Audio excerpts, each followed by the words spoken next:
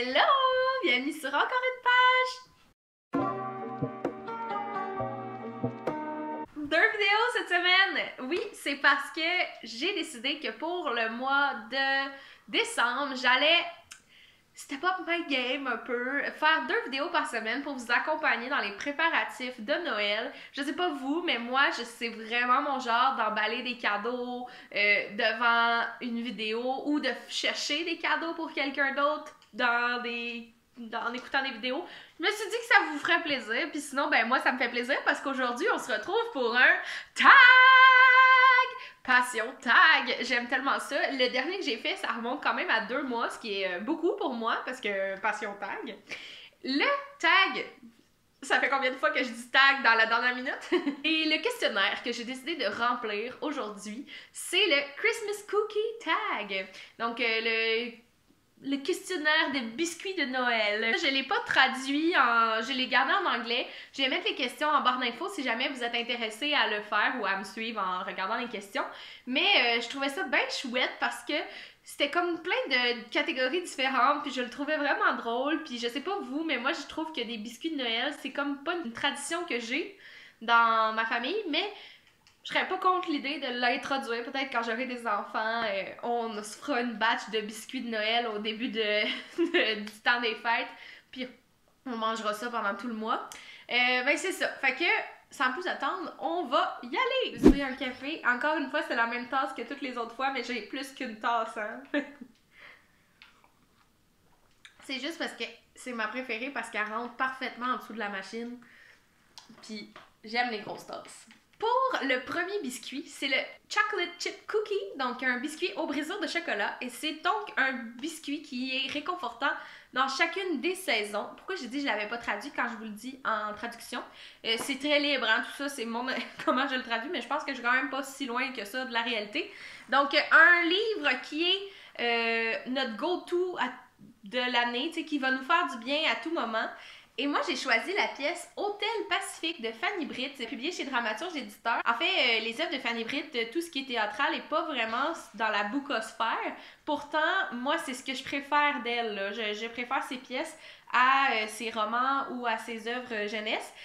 En fait, pour moi, Hôtel Pacifique, ça fait l'objet d'un gros projet à l'université avec des amis, puis c'est comme un de. Ben, avec des amis, avec mes collègues, mais c'était je pense que c'est justement un projet qui nous a rapprochés, un projet qui a comme solidifié nos relations. Puis à chaque fois que je le feuillette, je revis des émotions, comme je vois que, tu sais, vous voyez qu'il est vraiment usé, là, c'est parce que, tu sais, on a travaillé directement dans le livre, mais tu sais, je vois, là, il y a des affaires surlignées, il y a des, des annotations, euh, je vois comme toutes les discussions qu'on a eues, les chicanes aussi, parce que c'était comme, tout le monde avait ça à cœur, mais j'ai tellement aimé ce projet-là, puis la pièce, je l'adore. Je, je, vous en ai même pas parlé encore, mais en fait, c'est qu'on suit trois couples qui se retrouvent dans un hôtel. Ils sont comme un peu euh, cloisonnés à cet endroit-là parce qu'ils peuvent pas sortir. Il y a la venue du président américain, puis en tout cas, personne ne peut sortir parce qu'il y a eu comme des, des attentats, si je me trompe pas. Puis c'est trois couples à différents âges, puis à différents euh, stades aussi de leur couple, mais tout va mal. Puis en tout cas, c'est vraiment, euh, c'est des destins croisés. Puis c'est excellent. C'est vraiment, c'est super bon. Puis euh, moi, ça me fait, ça me réconforte. Fait que c'est comme mon biscuit au briseau de chocolat dans ma bibliothèque. Pour euh, biscotti, c'est un biscuit qui est difficile à manger au début, mais que ça vaut vraiment la peine de, de se... It's totally worth the, effort. Donc, ça vaut la peine d'investir de, un petit peu d'effort pour euh, manger ce biscuit. Donc, un livre qui était difficile de prime abord, mais qu'on est content d'avoir euh, lu au complet. Et pour moi, c'est Les Fous de Bassan d'Anne Hébert, publié chez les éditions du Seuil. C'est un livre que j'ai lu cet été. Euh, c'est juste plate parce que ça a tombé dans le moment où on dénonçait euh, beaucoup les, les agressions sexuelles. Puis ça parle, ça parle de ça, fait que c'était comme pas le meilleur moment, mais j'ai tellement aimé ça pareil.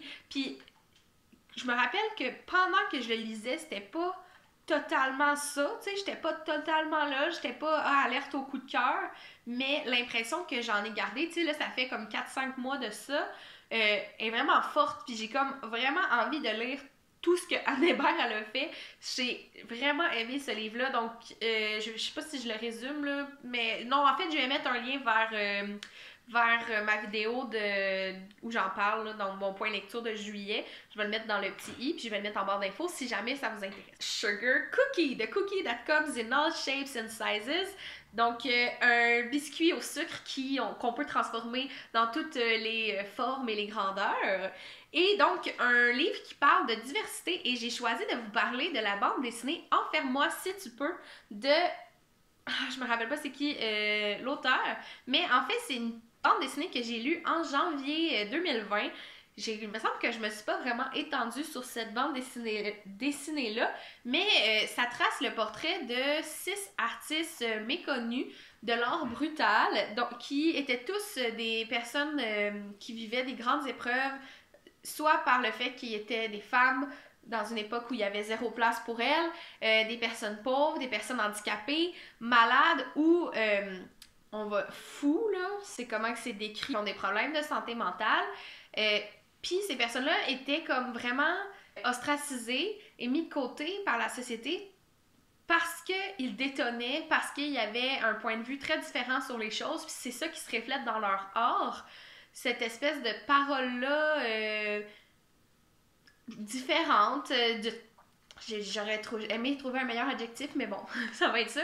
Mais euh, c'est vraiment une bande dessinée que j'ai aimée parce que c'est plus du type biographique, mais on est vraiment dans un esprit comme très rêve, onirisme, tu sais, on est comme dans quelque chose de très flou, portant, je sais pas trop comment dire, mais en tout cas, je recommande cette BD-là si vous aimez euh, lire des trucs sur l'art. Et c'est vraiment un livre qui parle de diversité euh, sous toutes ses formes. Et le prochain biscuit, c'est le Peanut Butter Blossoms. J'ai aucune idée c'est quoi. J'imagine que.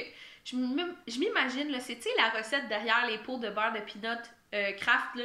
Genre la recette de beurre, de biscuit au beurre d'arachide que je sais pas s'il y a des gens qui ont déjà fait, là, mais qui ont comme une trace de fourchette dedans. Je pense que c'est ça. Cette catégorie-là, c'est un personnage que. Euh, the, underdog cookie that eventually became a Christmas favorite. Donc, un, un personnage qu'au départ, on n'était pas certain d'apprécier, mais que finalement, on a bien aimé ou on, a totalement aimé. Et moi, je vais dire Ifemilou dans Americana de Shimamanda Ngozi Adichie. Ça faisait longtemps que j'en avais pas parlé. Mais c'est vraiment un personnage qu'au départ, j'étais comme pas sûr, pas sûr qu'elle va me plaire. Je la trouvais vraiment dans le jugement, vraiment pas dans. Euh, je la trouvais fermée un peu, puis euh, très. Euh, c'est dans 26 que je vis. Puis au final, j'ai vraiment appris à la découvrir, à l'apprécier. Ce personnage-là est, vraiment, j'avais l'impression que c'était mon ami, puis que genre j'étais capable de lui pardonner certaines affaires qu'elle disait ou qu'elle pensait ou qu'elle faisait, puis que j'étais comme t'aurais pas dû faire ça, grosse conne, mais c'est comme c'est ça, genre je, je, l'aimais malgré malgré tout. Fait que c'est ça, si vous avez pas lu Americana, ça devrait vraiment faire partie de votre liste à, lire en 2021. C'est vraiment un très, bon, euh, un très bon ouvrage. Le prochain biscuit, c'est le Snickerdoodles. C'est un biscuit que juste le nom nous fait sourire. Euh, J'en ai jamais mangé, je pense, des Snickerdoodles, mais j'ai écouté les vidéos de Deux filles ordinaires, puis ça me donne quand même envie d'en manger. Donc, c'est euh, un livre qui nous fait sentir bien, un livre qui nous euh, apporte de la joie.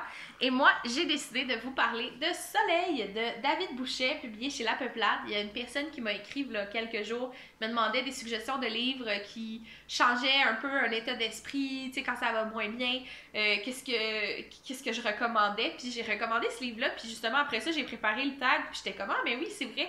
C'est comme on suit le point de vue d'un enfant qui immigre au Québec, euh, il immigre du Sénégal, me semble, jusqu'au Québec, puis ça sera pas nécessairement facile l'intégration, surtout de leur père euh, dans la province. Puis lui, il, vit ça à travers ses yeux d'enfant, mais comme c'est le fun de suivre des enfants qui sont pas niaiseux, puis des enfants qui ont pas des façons de s'exprimer que ça paraît que c'est un adulte qui l'a écrit, comme c'est vraiment vraiment bien fait. Puis il y a eu tellement de réflexions là-dedans que j'ai fait genre oh ou oh, ça c'est vrai, là, ça, ça fait grincer, ouch, tu sais, genre, je, le prends personnel un peu, tu sais, je sais que ça me vise ce genre de, de commentaires-là, mais comme, j'ai vraiment aimé ça, puis je vous conseille vraiment de lire Soleil, là, c'est, ça met du soleil dans nos vies, ça met du, du positif. C'est fun d'avoir le point de vue d'un enfant qui a vécu l'immigration, mais aussi, tu sais, quand l'auteur sait ce qu'il a vécu, ben, on dirait que ça renforce un petit peu, euh, ça renforce vraiment le, propos.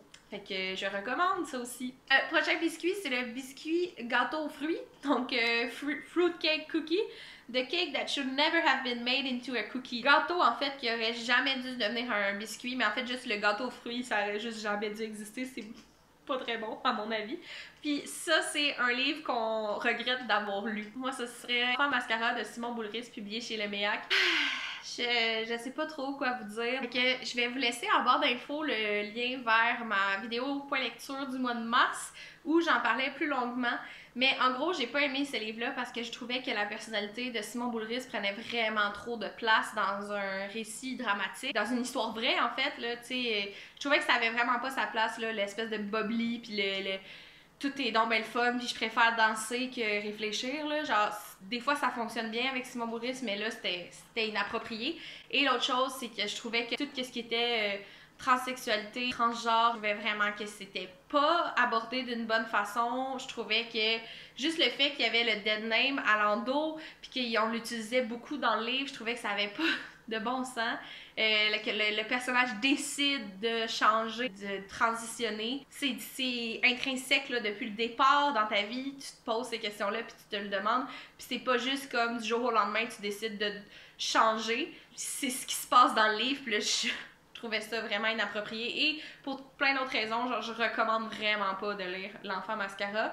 Je pense que si vous êtes euh, conscient de ça, peut-être ça peut être intéressant. Puis euh, ça peut, tu sais, si vous êtes capable de, aller chercher des pistes de réflexion après la lecture de ça, euh, peut-être ça peut être pertinent de le lire, mais sinon, là, si vous pensez juste comme lire du Simon Boulris pour genre vous changer les idées et tout, genre prenez quelque chose d'autre que l'enfant mascara. The Gingerbread House, it's more than just a cookie, it's a masterpiece. la maison au pain d'épices, ça c'est plus qu'un biscuit, c'est une œuvre d'art. Donc un livre qui euh, a une super description du monde ou euh, qui est vraiment magnifiquement écrit, qui est comme un chef-d'œuvre. Et moi je vais vous parler de Épopée Nord de Olivier Morin et Guillaume Tremblay, publié chez les éditions de ta mère. En fait, Olivier Morin et Guillaume Tremblay, c'est des gars qui ont fondé le Théâtre du Futur, qui est ma compagnie de théâtre préférée. C'est pas la première fois que j'en parle sur ma chaîne, mais Épopée Nord, ça se passe dans 2035. Il y a eu euh, comme une apocalypse et euh, les euh, personnes autochtones ont décidé de reprendre le pouvoir sur le pays. Ils ont trouvé une façon de se, cloner. Fait qu'ils sont rendus genre vraiment nombreux et ils confinent les pauvres petits Québécois blancs dans le village québécois d'antan. Puis là, c'est comme il y a toute une espèce d'épopée avec la culture québécoise, puis à quel point comme ça c'est ça, genre, ça, c'est comme toujours un peu la même affaire. Puis à quel point aussi on on n'a pas donné de place aux personnes autochtones depuis le début, là, depuis le début de la colonisation. Puis en tout cas, c'est super drôle, c'est vraiment bien fait. Ça prend quand même une bonne culture euh, générale québécoise, mais tu sais, c'est comme quand même la culture populaire, fait que vous pouvez euh, vous y retrouver. C'est, ça se passe comme si on était dans une soirée canadienne de l'émission, dans le temps. Puis euh, en tout cas, je, vous le dis, c'est vraiment bon. C'est vraiment bien écrit. Il y a à peu près 200 personnages, mais comme moi, quand je l'ai vu, c'est aussi ça qui fait que je l'ai autant aimé puis que dans ma tête, c'est un chef-d'œuvre. C'est que j'étais allée à un événement théâtral où il y avait toutes les pièces de théâtre du futur de l'époque qui étaient jouées une après l'autre. Fait que là, on suivait, on était comme toujours dans le même univers, euh, le même, les mêmes personnages, mais avec comme vraiment une.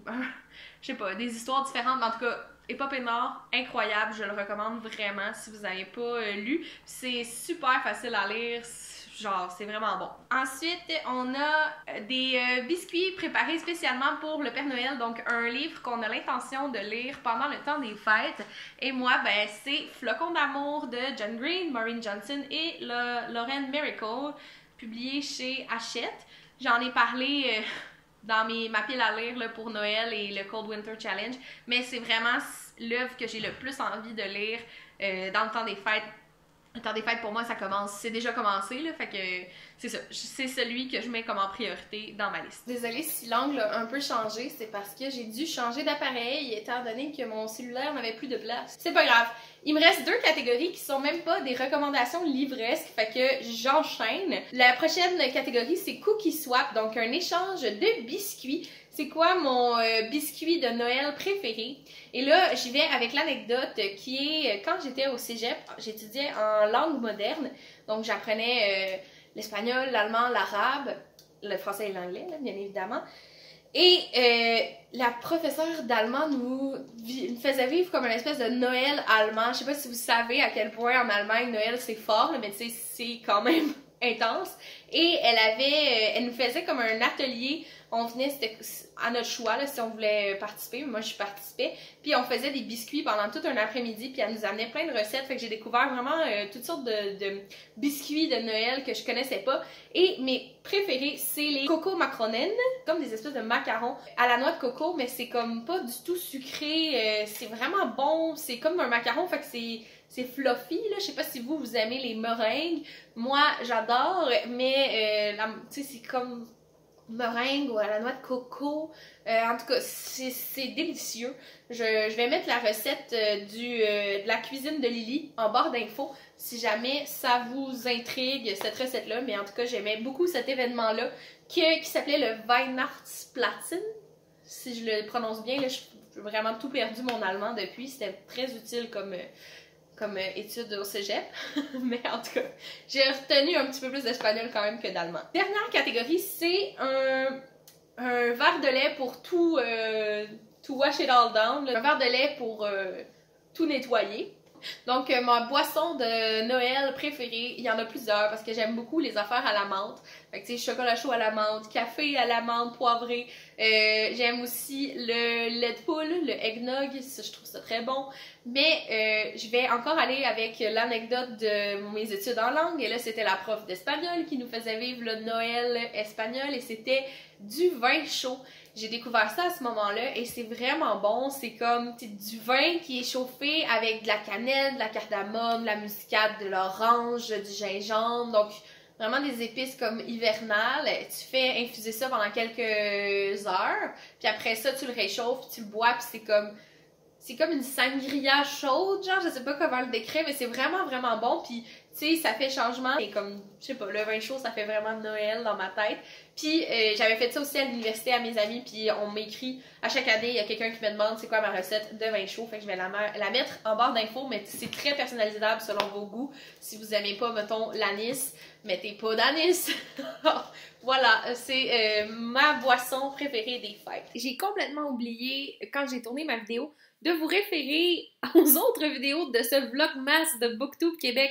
Donc, euh, la vidéo avant celle-ci, c'était un live qui a eu lieu sur la chaîne de Maps Booktube avec euh, moi-même, Karine la bouquineuse et Maps. Donc, euh, ça a été enregistré si vous voulez le revoir parce que vous l'avez manqué. Je vais mettre le lien en barre d'infos. Et demain, le Vlogmas Booktube se poursuit sur la chaîne de Karine Minier. Donc, une vidéo spéciale à aller voir. Je vais mettre le lien en barre d'infos une fois que cette vidéo de Karine sera publiée. C'est ce qui conclut ce Christmas Cookie Book Tag. J'espère que vous avez apprécié. Si c'est le cas, n'hésitez pas à me le dire dans les commentaires et à liker ma vidéo. Sur ce, je vous souhaite du succès dans vos projets et dans votre vie et on se revoit très bientôt. Bye bye!